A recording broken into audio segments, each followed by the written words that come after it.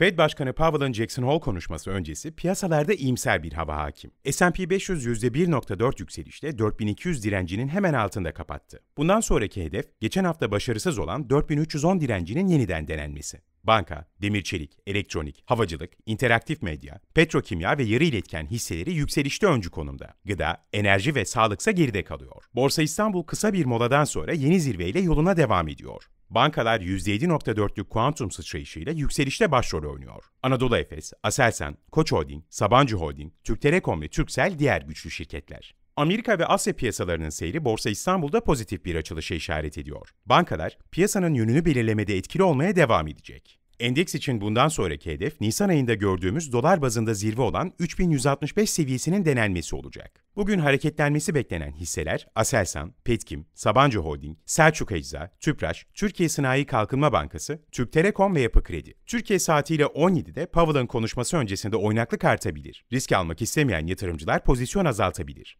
Dinlediğiniz için teşekkür ederiz. İş Yatırım YouTube kanalına abone olun, piyasalar kulağınızda olsun.